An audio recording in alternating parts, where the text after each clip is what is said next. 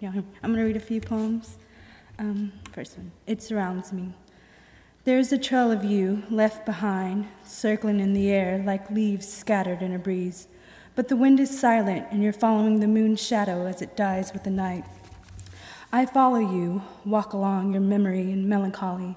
The trees are vibrating within each branch and root.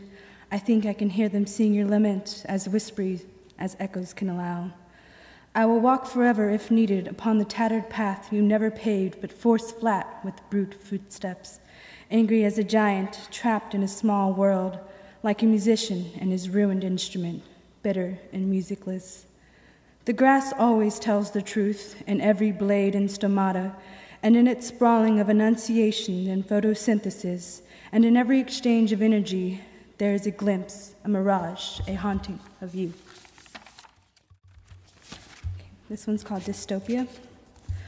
If silence could engulf us in the stillness, darkness of our trembling echoes, the sing song warble of birds chirping in the trees we cut down would not exist. The moment of our electric eyes burning into each other's hurried glance drags on, defying the surrounding seconds which seethe into our pleading, greedy senses, as we fill in our aging wrinkles with a touch of history and a dab of humanity. To be academic is cosmetic, a little wit and a lie and some wine to pass another's unimportant time. And when your hands are finally unclenched and your lips unchapped, when you've studied the precious maps you've concocted while sleeping, in that dream, you'll take a ship to sea and never return. They'll find your bones next to a tower of your poetry. This is my last one. Um, it's called In Hours surmising the consonants of a rhythm, a meaning, this analysis, if it need be, of strained articulation, like the moment when words melt like wax when heated by the fleeting flames of interpretation.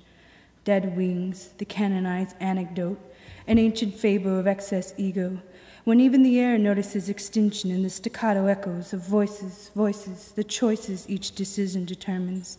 The sound is audible, tasting of cold ice and salt blistering disassociation, precocious ponderings, no, no, a mere moment, like plucking one's finger on a tuned string and listening to the drone, drone forever, into the mouths of street corners where the ghosts sleep and moan the color green and gray. A shade like that will rot the death away, rob the night from the day. And in that eternal seizing, when everything is never silent, still, time gives. Thank you.